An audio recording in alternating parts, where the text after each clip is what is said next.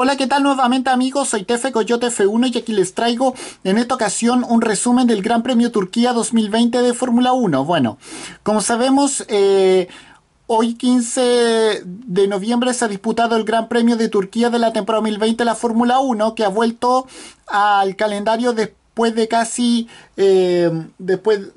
después de casi 10 años, eh, es decir, casi una década. Y bueno, como sabemos, el ganador fue el corredor inglés de la escudería Mercedes, Lewis Hamilton, que ha obtenido, además de su victoria número 94, también ha obtenido su séptimo campeonato mundial y ha igualado y se ha convertido en el primero que iguala eh, el número de de campeonatos mundiales a Michael Schumacher, algo que en un principio, en un principio parecía imposible, pero eh, por fin Hamilton consigue eh, su sueño de igualar a, a Chumi y bueno. El segundo lugar fue para el mexicano Sergio Checo Pérez, que no terminaba en el podio desde el Gran Premio Azerbaiyán de eh, la temporada 2018 y el tercer lugar fue para Sebastián Fettel que después de subirse por última vez eh, al podio en México eh, hace un año eh,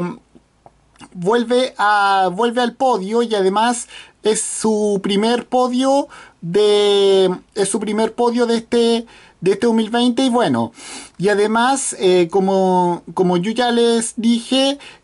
Hamilton ha obtenido ha obtenido su séptimo título mundial y, es el primero que iguala a Michael Schumacher en, ese récord. Y bueno, y el próximo Gran Premio a disputarse será en dos semanas más el Gran Premio de Bahrein, que además también será un evento doble en el cual tendrá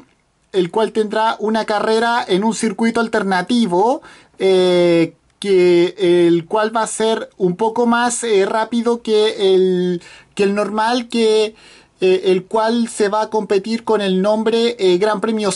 Gran Premio Sakir. Y bueno, con esto me despido. Adiós, que me fuera. Chao.